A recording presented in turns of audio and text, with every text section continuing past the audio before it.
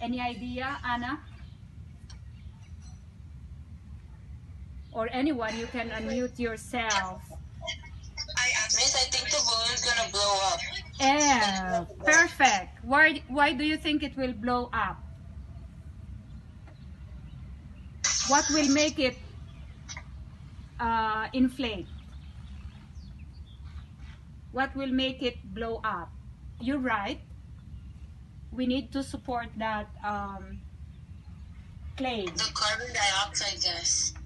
Great. The same exactly situation when you bake the bread. The bubbles that are produced in the, you know, when you cut the bread and you see bubbles, that's nothing. Those are um, evidence that carbon dioxide is a byproduct. Are you with me? Are we all together in this? Yes. Yes? Okay. Yes. And so this is our experimental group.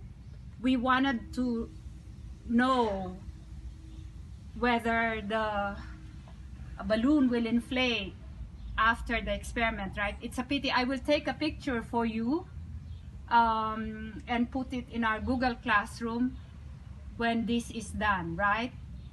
And um, we can, this is our experimental group. Now, can anyone unmute herself and tell me what would be your control group?